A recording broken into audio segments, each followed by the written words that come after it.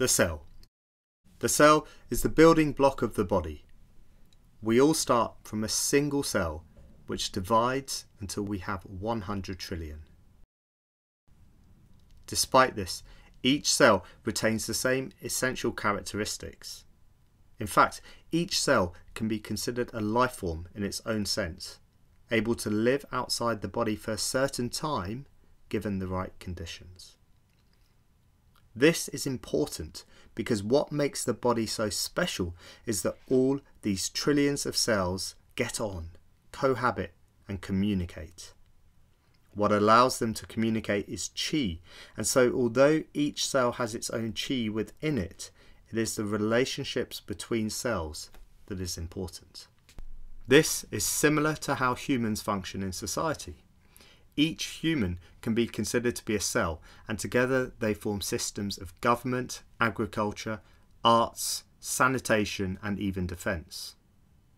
Within this, the inner workings of each human is less important than their role within society and their relation to others.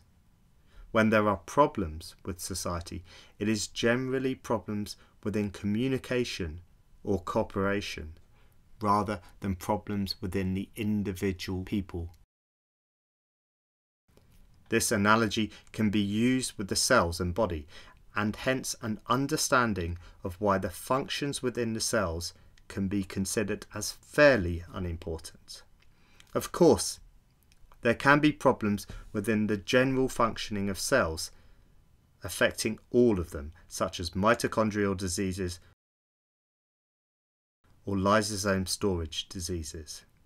But these tend to be serious and generally incompatible with life. Rather, the cells tend to just get on and do their job fairly unremarkably until stress or catastrophe causes them to signal otherwise. Such signalling may cause pain or other symptoms. Local distress to cells can be overcome by simply replacing these cells with regeneration, a function of what the Chinese call blood.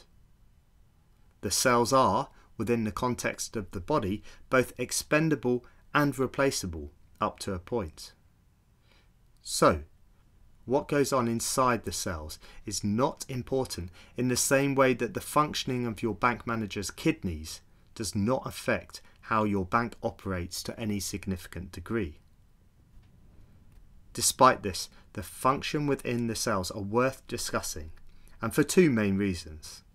Firstly, for general interest and curiosity, and secondly, because they mirror the functioning of the body, as we will see.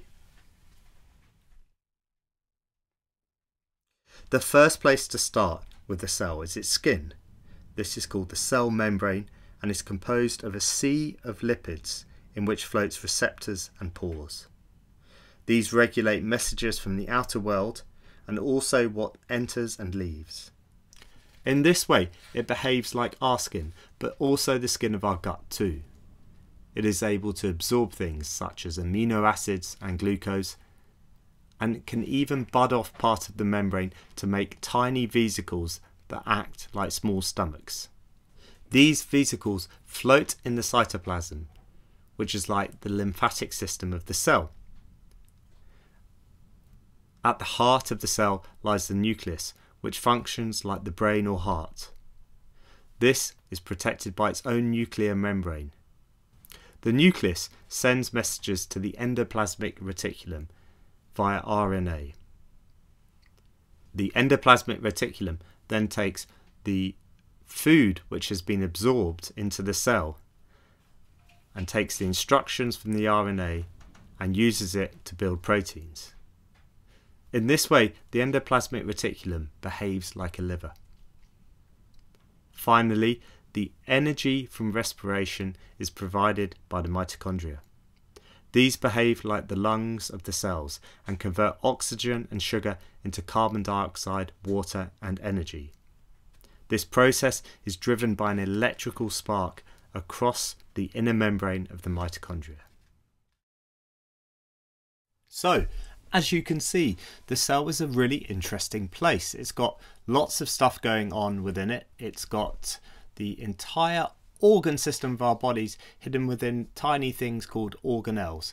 But the most important thing to understand about the cell is it's walled off, it's enclosed by a cell membrane. And so, in a way, it's not really touchable by most drugs and also by acupuncture and by moving qi. What qi does is affect the relationship between cells in general, anyway. And so we don't need to know an awful lot about what is happening within the cells per se. We can just understand their function within the organ itself.